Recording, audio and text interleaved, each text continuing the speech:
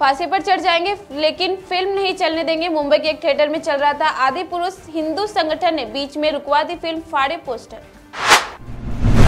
मुंबई को महाराष्ट्र से अलग करने वालों को लूटने वालों के टुकड़े कर देंगे। बाला साहेब ने हमें सिखाया, उद्धव ठाकरे ने भाजपा को दी चेतावनी। मुंबई के अक्सा बीच में अचानक पानी बढ़ जाने से 19 लोग पानी के अंदर डूबने लगे। लाइफ गार्ड की टीम ने 10 लोगों को पानी के अंदर से सुरक्षित निकाला।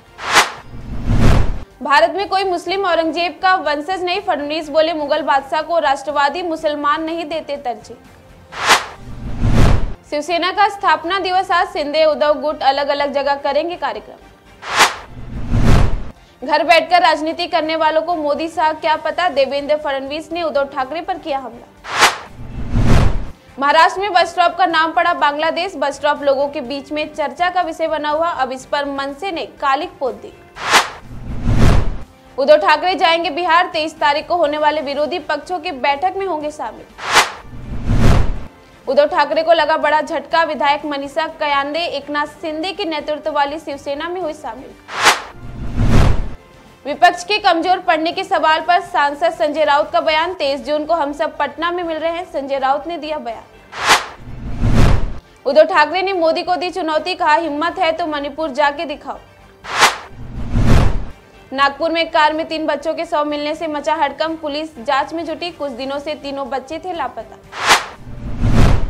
नवी मुंबई में 100 इलेक्ट्रिक बसों को शामिल करने की योजना। पाँच महीने में सड़कों पर आने की है उम्मीद।